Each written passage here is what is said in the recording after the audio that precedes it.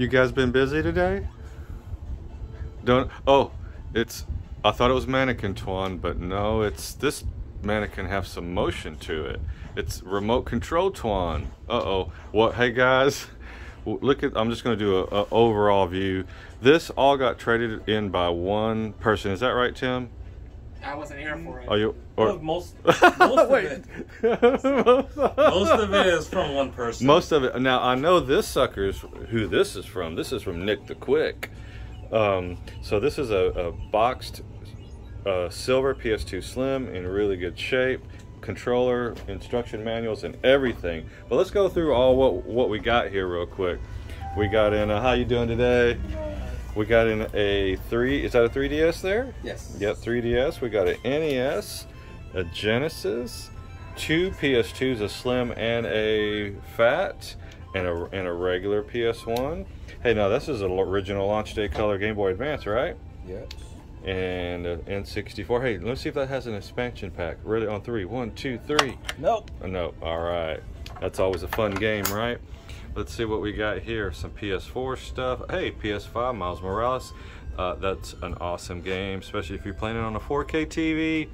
Let me take my glasses off because you know what? I can't see nothing. Let's see here. All right. Mortal Kombat. You know, I'm still playing Grand Theft Auto 5. I played some a couple days ago. Isn't that crazy? Rocket League. Let's see what else we got here. Some PS3 stuff. All right, some Call of Duty stuff. Oh, what is this, Twan? Tell me a little bit about this. Ah, it's a taiko drum game. So basically, you it's a Japanese game, but uh, you PS4s are region uh region free. So you just you just beat to the rhythm to either the edge or the center. And this is a traditional Japanese uh, drum. They have classes and stuff for that, right? I've seen some on YouTube before. So, all right, cool. Hey, let's let's scooch over. Some PS1 stuff. Frogger, Tom and Jerry. Uh, let's see what Warped there. Jet Moto 1 and 2. Final Fantasy 7. That's nice. I don't know if we have one right now. Gran Turismo 2. My goodness, when Gran Turismo came out, it really was awesome. Uh, oh, some nice 3DS games there. Fire Emblem. Hey, look at this. Contra 4. We haven't had that in forever. Even some Genesis box stuff. Nice. And let's look at, oh, what's this? Oh, hit and run. That's awesome. We might have a have an insert for that somewhere.